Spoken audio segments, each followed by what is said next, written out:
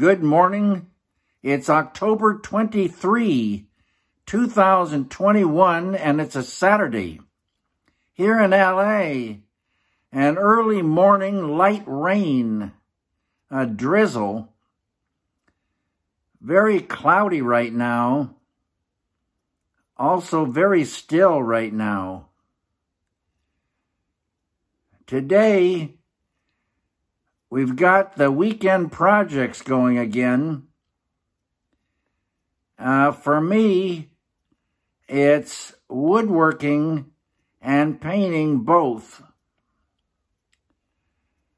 This afternoon, it'll be going up to 70 degrees Fahrenheit, around 21 Celsius.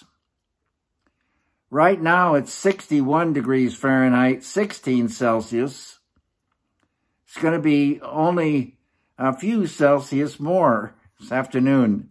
And it's going to be cloudy and maybe a little bit what you call partly cloudy all along the way.